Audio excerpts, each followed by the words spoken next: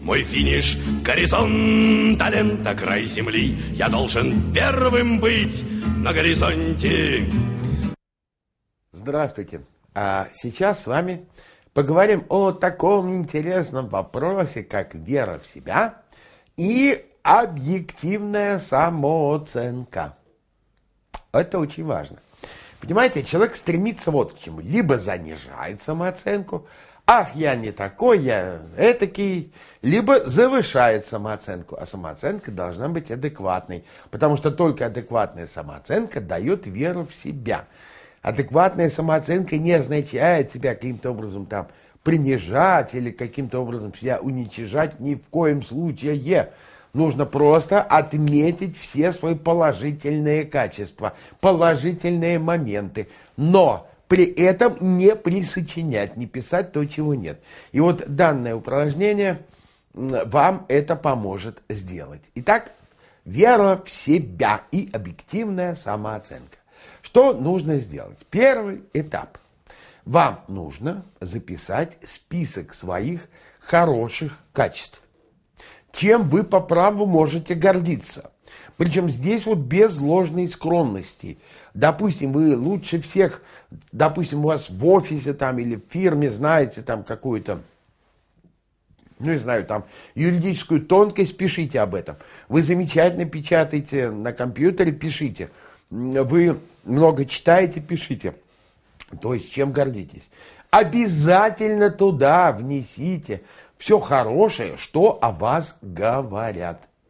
Вы наверняка знаете, что о вас говорят хорошего. И что говорят не очень хорошего, тоже наверняка знаете. Ну, жизнь дело такая. Но, тем не менее, вот вы записали свои качества, чем гордитесь, и что хорошего о вас говорят. И понимаете, когда вы запишете, вы уже подумайте, елки-палки, а ведь дело не так и плохо. Но этого мало. И вот здесь второй этап. Второй этап. Напишите список всех своих успехов с детских лет. Вот все, что вы можете вспомнить. Я понимаю, что это занятие не, скажем так, э, быстрое, но достаточно интересное и нужное. Понимаете, вот вспоминайте, вот, допустим, в детстве вы там, ну, я не знаю, там, котенка накормили бездомного. Пишите ну, список успехов. Или в детстве вы блестяще выучили какой-то урок. Пишите. Вы чудесно сдали выпускной экзамен какой-то. Пишите. Пишите, пишите, пишите. Величина успеха не важна. Не нужно оценивать с позиции какой-то глобальности, там, вот чтобы так, ух, как вот. Нет, пишите все свои успехи.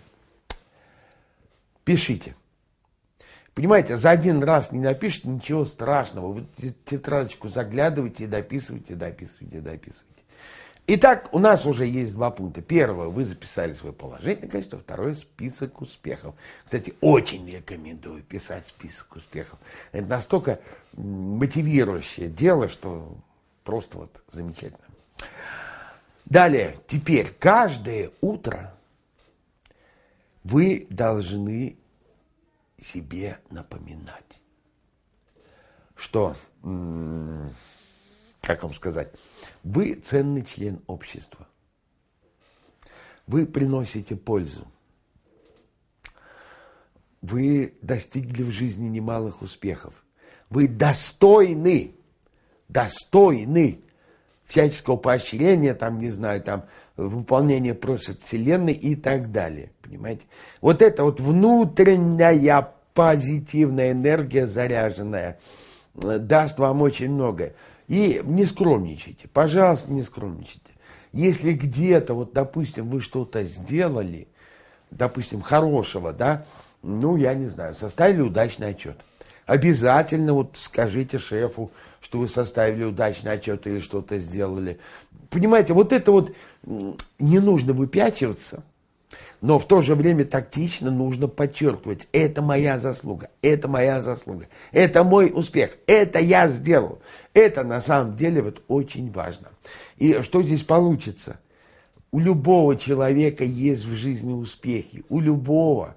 Но почему-то так получается, что эти успехи, об этих успехах он забывает. Э, помнит, может, только что-то самое крупное. А тем не менее, если он так присмотрится, э, назад просмотрит ретроспективно свою жизнь, он увидит, что успехов-то у него было в жизни немало, что есть чем гордиться. А вот это внутреннее чувство даст очень-очень хорошие вот это чувство посеяли, и всходы или там э, урожай получится очень и очень богатый. И э, вот вы знаете, я на занятиях, когда даю это задание, вот дал э, задание, ну, вот скажем, там, в понедельник, и там, в среду или в четверг, как-то по графику будет, мы вот эту тему, допустим, обсуждаем, да, у кого что как. Вы знаете, люди меняются. Люди меняются меняются, они становятся уверенными, они становятся гордыми, они сбрасывают с себя какие-то вот ненужные оковы, ненужные страхи. При всей внешней простоте это совершенно гениальное упражнение.